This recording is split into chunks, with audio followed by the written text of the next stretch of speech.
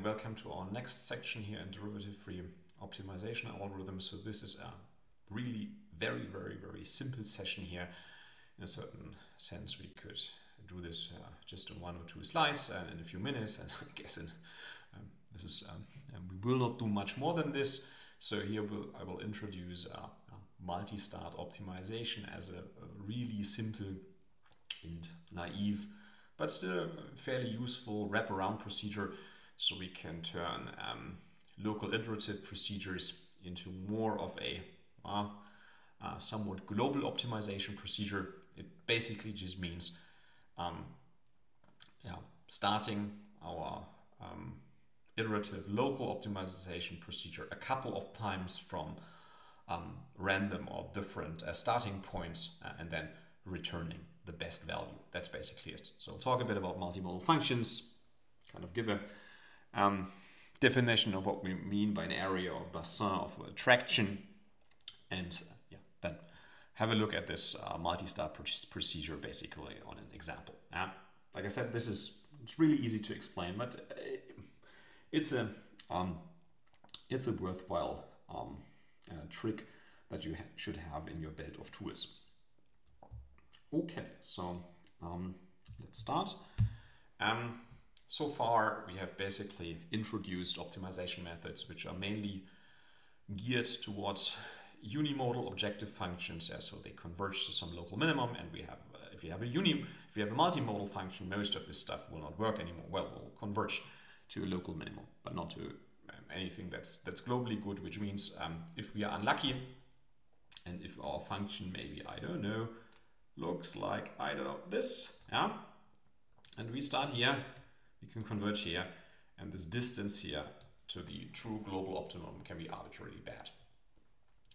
Um, and of course, these optima, these minima that we find, they will in general depend, um, of course, on the algorithm that we're running, but also on the uh, starting value x0 that we choose. And the basic exception for one algorithm that could also escape from uh, local minima was simulated annealing.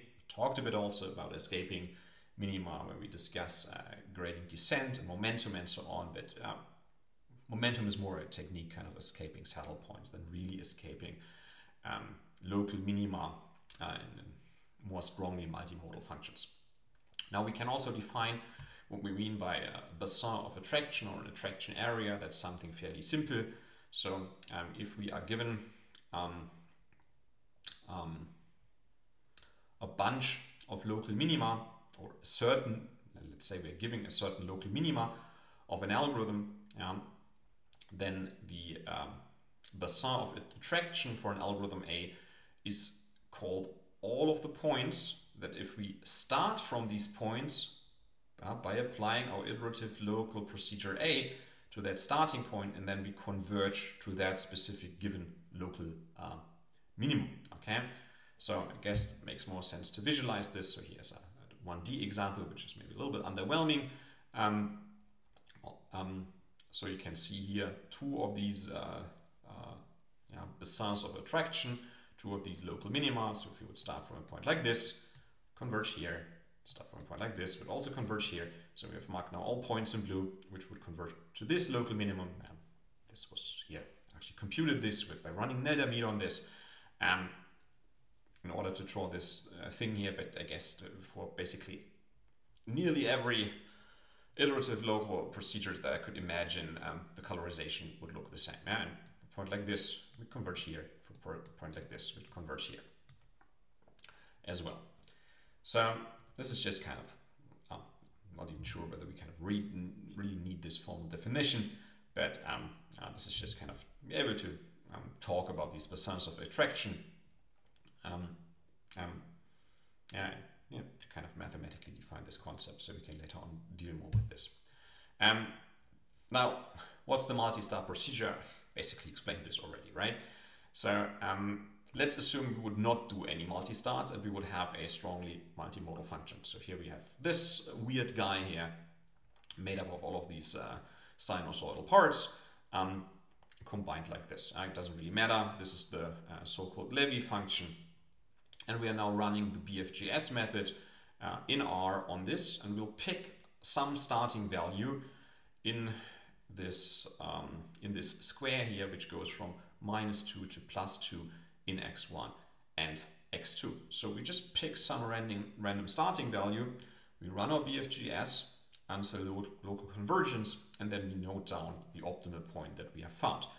And we run this uh, 100 times.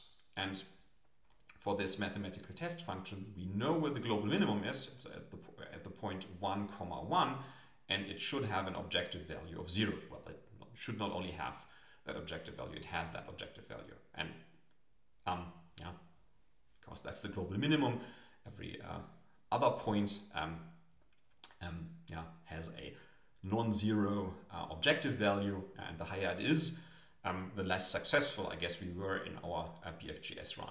And here you can see the distribution of our uh, 100 uh, optimization results in terms of their y values after BFGS has locally converged. And you can see that yes, sometimes we find that global minimum, uh, as you can see here from this um, uh, minimum statistics from the distribution of the y values. So sometimes we reach that, um, but very, very often we do not.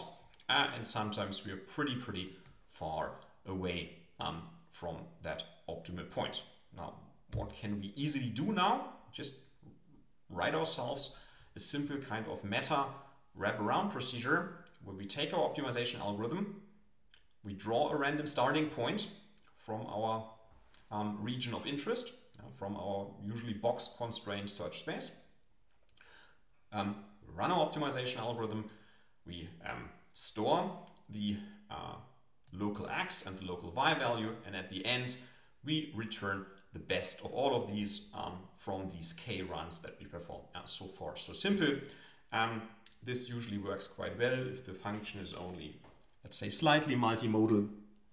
Um, um, yeah, and if we have enough budget to run the algorithm um, a bunch of times, um, here in this example, uh, you can even see the code here, or you can write this in R, you can also write this uh, in Python. Yeah, this is kind of just a bunch of lines of code. And if um, on your function, your iterative procedure works quite well, you still want to, I don't know, um, exploit the fact that you can compute gradients here. You know that the function is only slightly modal, multimodal. This can be a good initial idea.